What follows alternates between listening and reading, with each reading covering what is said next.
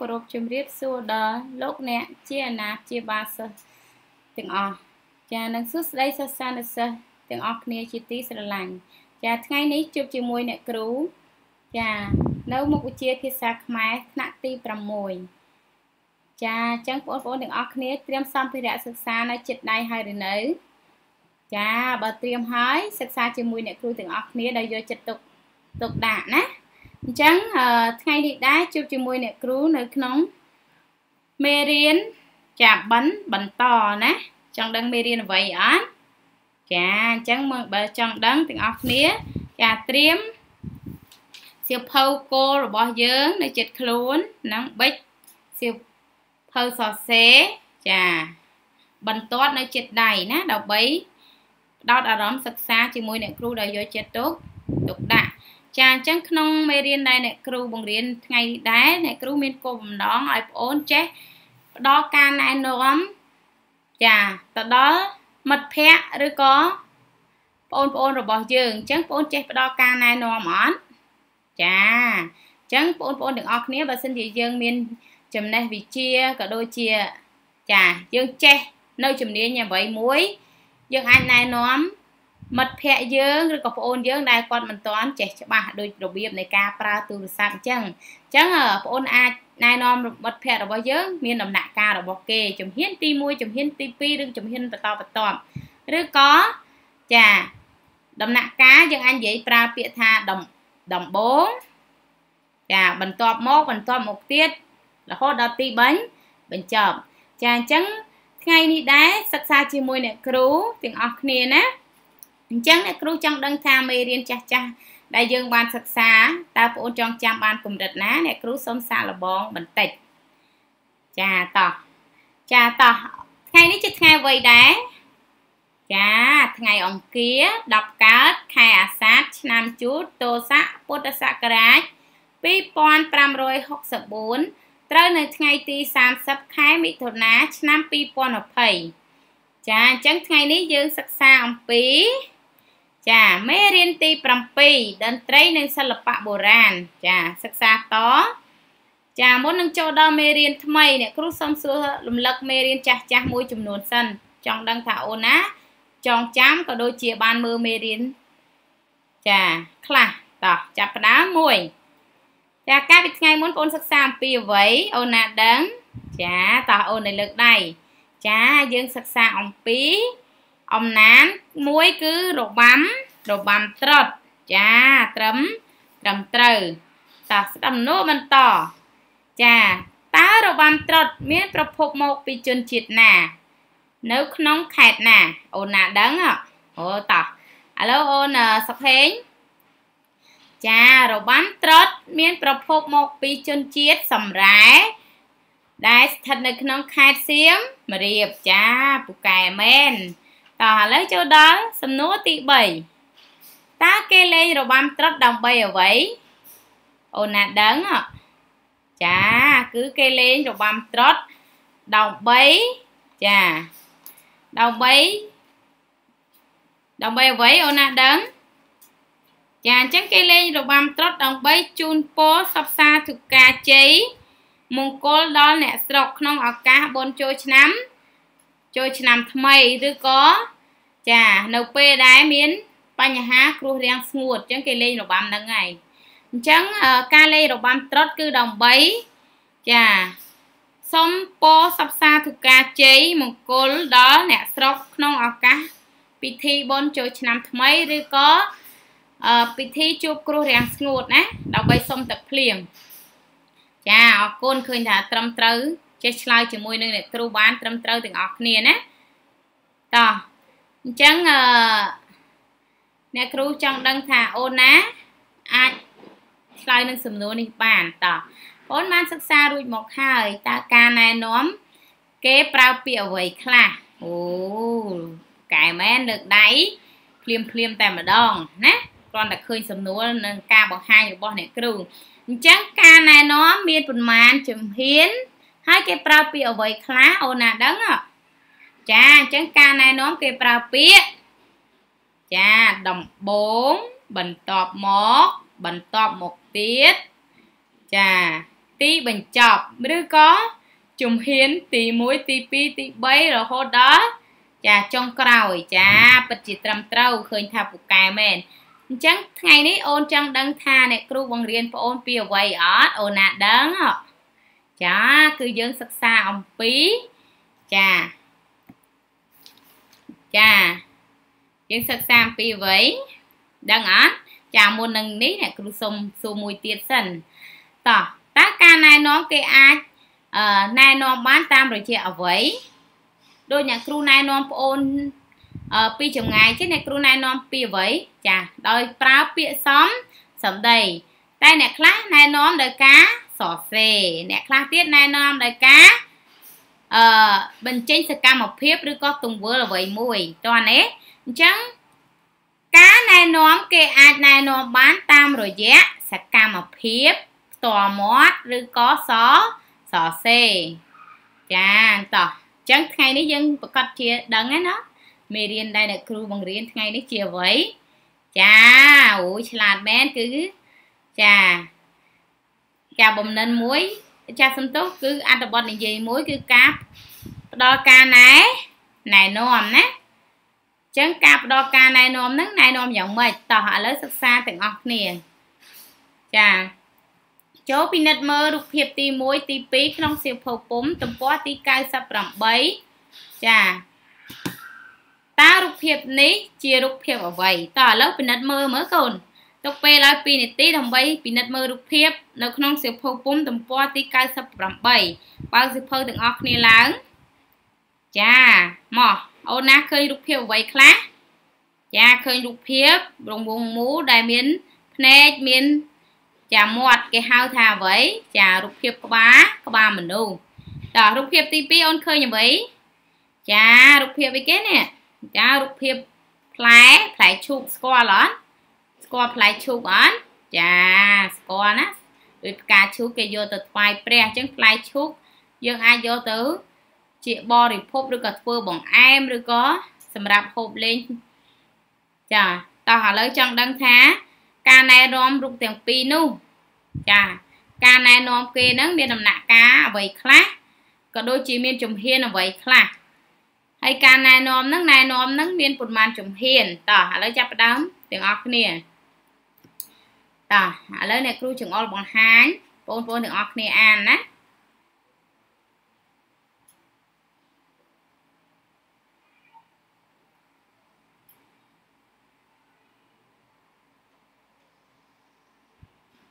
ចាអ្នកគ្រូបញ្ជាក់ម្ដងទៀតសុខាបានខូររូបភាពងាយងាយពីរគឺរូបមុខមនុស្សមួយនិងរូបផ្លែឈូកមួយ សុខាបានដាក់រូបនោះ ហើយនាងប្រាប់ឲ្យសុភីគូរូបនោះតាមការណែនាំរបស់នាង ចាអញ្ចឹងសុខាជាអ្នកគូរូបប៉ុន្តែណែនាំឲ្យសុភី ចាជាអ្នកគូរូបភាពតាមតាមអ្វីដែលសុខាចេះអញ្ចឹងចង់ដឹងថាសុខាមានការណែនាំរបៀបណាអញ្ចឹងសិក្សាទាំងអស់គ្នាណាតោះ ចូលប្អូនអានការណែនាំរបស់សុខាក្នុងសៀវភៅពុំទំព័រទី98តើការណែនាំរបស់សុខានៅក្នុងរូបភាពទី1មានប៉ុន្មានជំហាន និងក្នុងរូបភាពទី2មានប៉ុន្មានជំហានតោះឥឡូវបងប្អូនទាំងអស់គ្នាបើកសៀវភៅអឺពុំរបស់យើងហើយឬនៅ នៅទំព័រទី98តោះឥឡូវអ្នកគ្រូឲ្យបងអូនណាម្នាក់ដើម្បីអានអឺការណែនាំរបស់សុខា តោះទី1ចាតោះឥឡូវអ្នកអាចារ្យអរគុណច្រើនចឹងអានចប់រួចអ្នកគ្រូនឹងអានជូនម្ដងទៀតណាចឹងសុខាបានផ្ដល់ការណែនាំដូចខាងក្រោមដំបូងគូរង្វង់1ចានឹងសម្រាប់រូបភាពទី1ណាបន្ទាប់មកគូគំនូសត្រង់មូលចាសន្ទុះដំបូងមកខួរគំនូសត្រង់មួយ នៅក្នុងរង្វង់ បង្ហាញពីភាគ3ពីផ្នែកខាងលើនៃរង្វង់ចាទីបញ្ចប់ដៅចំណុច2នៅពីលើគំនូសត្រង់ចំណុចទាំងពីរនេះត្រូវឲ្យឃ្លាតពីគ្នាបន្តិចហើយមានចម្ងាយ1ភាគ3ពីផ្នែកខាងលើនៃរង្វង់ចាអញ្ចឹងអឺ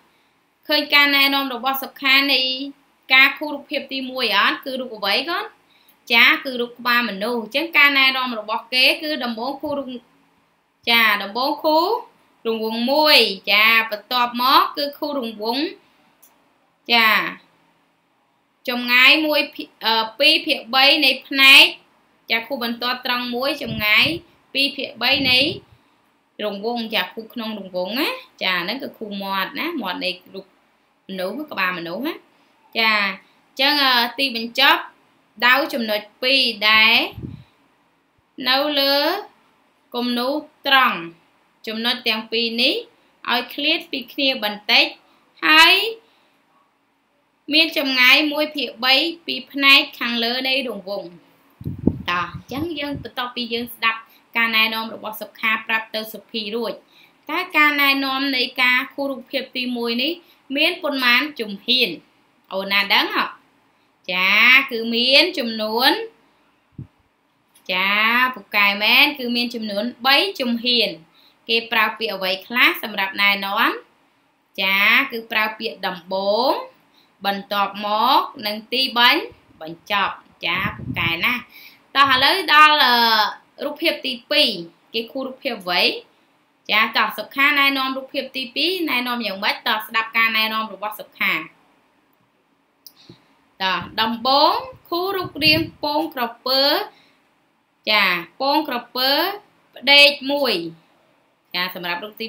2បន្ទាប់មកគូបន្ទាត់ពីចុងសងខាងគំនូចាពងក្រពើមកក្រោមម្ដងទៀតបន្ទាប់មក គូបន្ទាត់ពីចុងសងខាងពងក្រពើមកក្រោមចាបន្ទាប់មកទៀតខូខ្សែស្រប2ចាភ្ជាប់ពីចំណុចកណ្ដាលមកក្រោមឲ្យមានរាងកោងចាមកជួបគ្នាត្រង់ចំណុចកណ្ដាលមួយទីបញ្ចប់ចុចចំណុចឲ្យបានច្រើននៅក្នុង រាងពងក្រពើចាអញ្ចឹងបានន័យថា ការណែនាំរបស់សុខាគូផ្លែឈូកចាមានការគូជារាងពងក្រពើអញ្ចឹងមានប៉ុន្មានដំណាក់កាលចាសម្រាប់រូបភាពទី2ចាអញ្ចឹងគឺមាន4ដំណាក់ដំណាក់កាលចាគេប្រើពាក្យអ្វីខ្លះកូនតើអូននៅលើកដៃចាល្អគេប្រើពាក្យដំបង បន្ទាប់មកបន្ទាប់មកទៀតនិងទីបាញ់បញ្ចប់ចាពូកែមែនណាចាអញ្ចឹងក្នុងជំហានការណែនាំឧទាហរណ៍ទី1ឬក៏រូបភាពទី1និងទី2ចារូបភាពទី1មានប្រមាណជំហាន ចាមាន3ជុំជំហានរូបភាពទី2មានប្រមាណជំហានដែរចាគឺមាន4ជុំជំហានឃើញថាពូកែមែនណាតើឥឡូវអ្នកគ្រូសូមបន្ត ដល់លំហាត់អនុវត្តចង់ដឹងថាបងអូនណាអឺចេះអនុវត្តពេលដែរមិត្តភ័ក្ដិយើងនិយាយឬក៏ចាព្យាយាមដល់ការណែនាំឲ្យយើងតោះអញ្ចឹងឥឡូវអ្នកគ្រូដាក់ប្រធានបទមួយអូនអាចអានបានតោះល្អចាប់ផ្ដើមអាន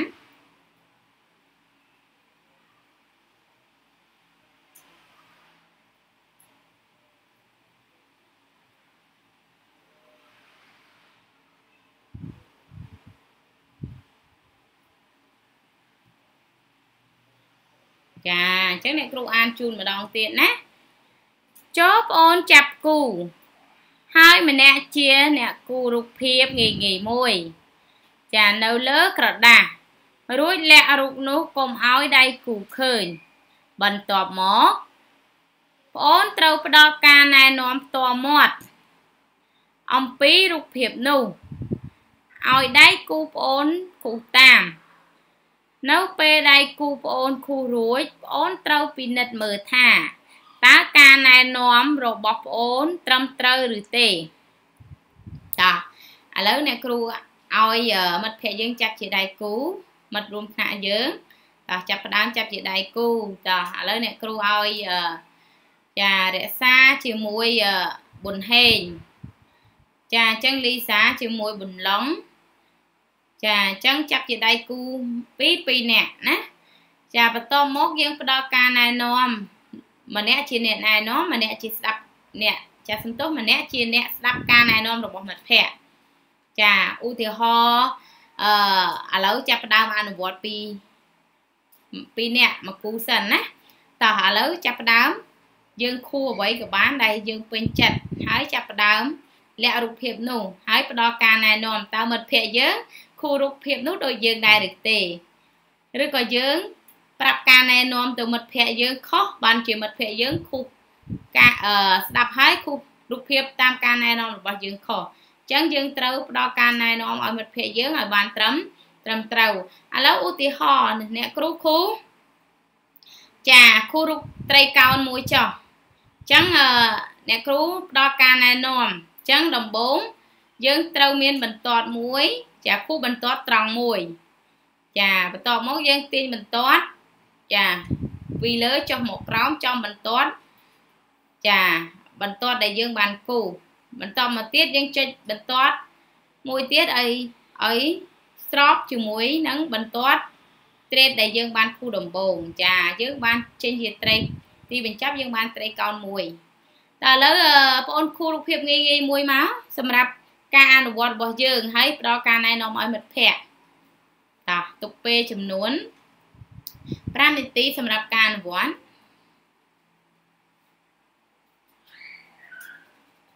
ចាហើយឬនៅតោះឥឡូវចាប់ផ្ដើមអូនផ្ដល់អូនដែលជាអ្នកផ្ដល់ការណែនាំឥឡូវផ្ដល់ការណែនាំឲ្យមិត្តភ័ក្តិយើង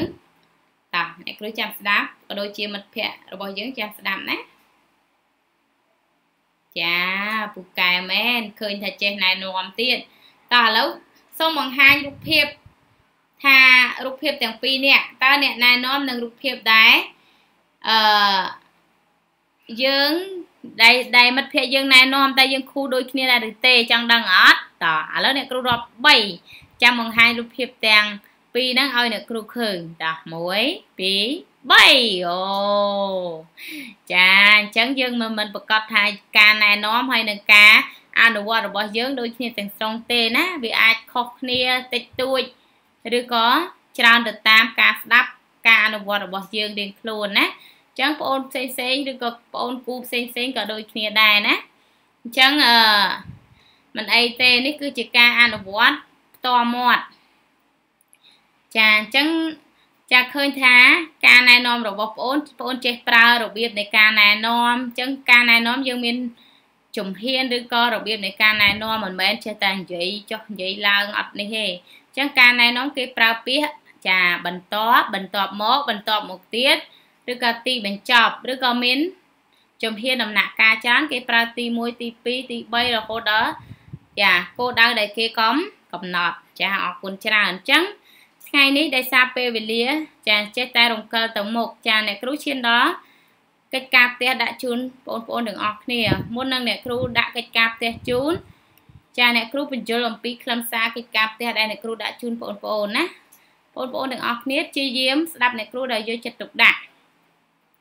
ចូលបងប្អូនគូរូបភាពមួយរួចសរសេរការណែនាំតាមជំហាននៃរូបភាពដែលបងប្អូនបានគូរួច ចាអំបញ្ញមិញយើងណែនាំផ្ទាល់មាត់អញ្ចឹងអ្នកគ្រូចង់ដឹងថាបងអូនចេះសរសេរការណែនាំនោះអត់ព្រោះឯការណែនាំយើងអាចណែនាំគេបានតាមរយៈសកម្មភាព តាមរយៈការនិយាយផ្ទាល់មាត់ឬក៏តាមរយៈអីគេនេះចាគឺតាមរយៈសសរសេរអញ្ចឹងអ្នកគ្រូចង់ដឹងថាបងអូនអាចណែនាំមិត្តភ័ក្តិក៏ដូចជាចាអ្នកណាផ្សេងផ្សេងដែរ ប្អូនចង់ឲ្យគេចេះធ្វើចេះអនុវត្តតាមប្អូនដែរឬទេអញ្ចឹងអ្នកគ្រូដាក់ប្រធានបទមួយគឺចូលប្អូនគូរូបភាពមួយរួចសរសេរការណែនាំតាមជំហាននៃរូបភាពដែលប្អូន បានគូរួចចាអញ្ចឹងប្អូនយល់ពីប្រធានណាឥឡូវប្អូនគូរូបភាពណាងាយងាយមួយណារួចប្អូនសរសេរតាមការណែនាំរូបភាពដែលប្អូនសរសេរហ្នឹងមានប៉ុន្មានដំណាក់កាល